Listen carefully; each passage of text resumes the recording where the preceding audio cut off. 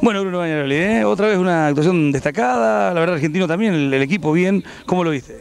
No, muy bien, por suerte pudimos mantener la base del año pasado, la base de campeonato, y eso es una ventaja que, que tenemos. Eh, se fueron un par de jugadores, pero pudimos mantener el esquema, vino uno solo que realmente juega muy bien con la pelota y, y es, es un, un, buen, un buen refuerzo.